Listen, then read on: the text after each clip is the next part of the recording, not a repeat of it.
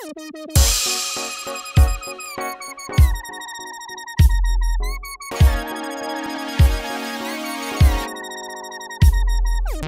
very good evening to you all and welcome to the Computing Security Awards 2018. One out of every four of you here tonight will network with someone. You'll meet someone who'll become a future partner, someone that you'll work with. You do great business, that's fantastic. One out of every four of you tonight will get a little bit tipsy and you will cop off with someone.